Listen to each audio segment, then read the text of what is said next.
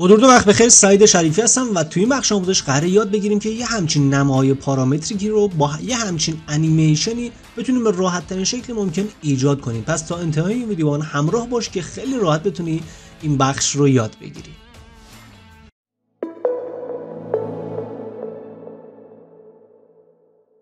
خب من اینجا استوب می‌کنم این رو حجم رو حذفش می‌کنم که از نو با هم دیگه بخوایم این کار رو انجام بدیم. خب اینجا میام سراغ کریت یه دونه پلینی من اینجا رسم می‌کنم.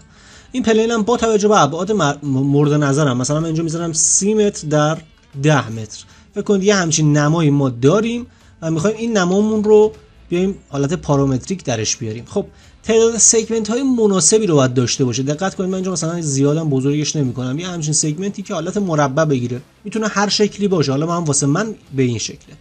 کلیک راست می‌کنم convert to editable poly رو اینجا می‌زنم. میام سراغ ابزار ribbon. اگه برای شما فعال نبود روی یه صفحه خالی این قسمت toolbar خالی کلیک راست بکنید و اینجا ابزار ribbon رو فعال بکنید. میام توی قسمت مدلینگ سراغ poly modeling میرم و اینجا generate topology رو یک بار می‌زنم و توپولوژی رو مثلا لوزیش می‌کنم. شما باز هم با توجه به چیزی که مد نظرتون است. حالا میام سراغ polygon. polygon ها رو انتخاب می‌کنم. من واسه این حجمم میام این قسمت بالاش رو فعلا deselect می‌کنم. یعنی نمی‌خوام این قسمت بالاش انیمیشن داشته باشه یا اینکه کار خاصی رو بخوام روش انجام بدم. یه همچین حالتی رو دارم اینجا. میام روش یه کلیک راست می‌کنم. اینجا inset رو می‌زنم. روی این قسمت inset یک بار کلیک می‌کنم که by polygon بشه یعنی هر polygon به صورت جداگانه inset بشه. یه همچین حالتی رو براش در نظر می‌گیرم OK ش می‌کنم و این poly هایی که انتخاب رو delete رو می‌زنم که delete بشه. این از اولین حجمم. از این حجمه یه کپی می‌گیرم می‌ذارم کنار. دقت کنید اینجا. میام سراغ این سری border. border رو انتخاب می‌کنم. میام یه control A می‌زنم که کل های من انتخاب بشه. Alt رو نگه دارم رو border بیرونی یک بار کلیک می‌کنم که از انتخاب در بیاد. توی این حالت که border های داخلی انتخابه میام سراغ scale و scale ش رو بزرگ می‌کنم تا جایی که می‌خوام. یه همچین حالت اینجا پیش بیاد. درسته؟ حالا از همین حجمم هم یه دونه دیگه کپی من می‌گیرم میذارمش اینور. از نوع کپی هم حتما باشه. دقت کنید instance نباشه. دوباره میام سراغ border. border ها انتخابه. از طریق scale یه مقدار border ها رو کوچکتر می‌کنم. میام سراغ move. و این حجمم رو به داخل می‌کشم که یه همچین حالت سبودی به خودش بگیره. دقت کردید. ما الان یه همچین حالتی رو داریم. من F4 رو می‌زنم. یه حجم خیلی ساده اینجا داریم. یه حجمی که حالت بزرگتری داره این دهنا و یک حجمی که حالت سبودی داره. حالا میام سراغ حجم اصلیم که قرار کار رو روی این انجام بدم. میام توی modifier list و یک modifier morpher رو من بهش میدم اینجا. توی modifier morpher نمی‌خوام زیاد باز کنم براتون. توی این قسمت بالایی توی قسمت channel list ش اولیش انتخابه می‌بینید empty زده. میایم پایین سراغ pick. pick object from scene این رو من می‌زنم و روی این object هم یک بار کلیک می‌کنم. این میاد اینجا میشینه.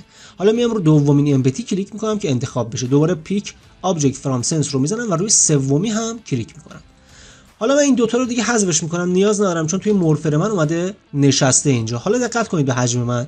اگه من اینجا بیام اولین رو تغییر بدم تغییر پیدا می‌کنه نسبت به حجم دوم. و بیام دومی رو هم تغییر ایجاد کنم داخلش عددش رو جابجا بکنم. ببینید که می‌تونم به حجم مناسبی برسم. ببینید اینجا کامل می‌تونم من کنترل بکنم که به چه حجمی می‌خوام برسم. اما هدف ما این نیستش که یه همچین حالت در واقع ثابت و یه دستی رو داشته باشیم. برای همین من این دوتا رو می‌ذارم روی 50 و 50 که کلا 50 درصد از حجم دوم 50 درصد از حجم سوم توی حجم اصلی من بیاد در واقع تاثیر خودش رو بذاره. حالا میام سراغ editable poly که پایین morpher وجود داره.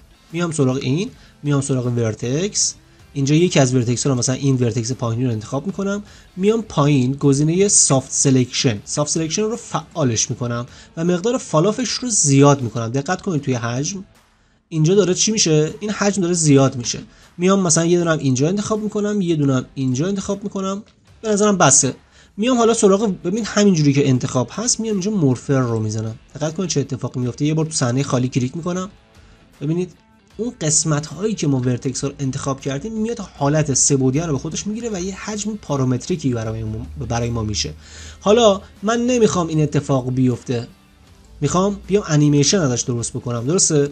برای همین توی همین modifier list م توی این قسمت هایی که یه editable poly دارم یه دونه morpher دارم. میام روی editable poly کلیک می‌کنم میام توی modifier list و یک modifier vol select رو اضافه می‌کنم به کارم.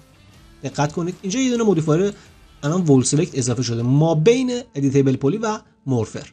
حالا میام سراغ create یک حجمی رو مثلا من اینجا یک sphere می‌کشم به این شکل به این شکل sphere می‌کشم. میام مثلا واسه اینکه بخوام یه ذره جابجاش بکنم یه FFD box دو در دو بهش میدم یه ذره می‌خوام شکلش رو تغییر بدم. این رو مثلا یه ذره جابجاش می‌کنم به این شکل این به این شکل مثلا اینم به این شکل. مثلا یه همچین حجمی. حالا اینو من میام تبدیلش می‌کنم به editable poly دقت کنید حتما editable poly باشه.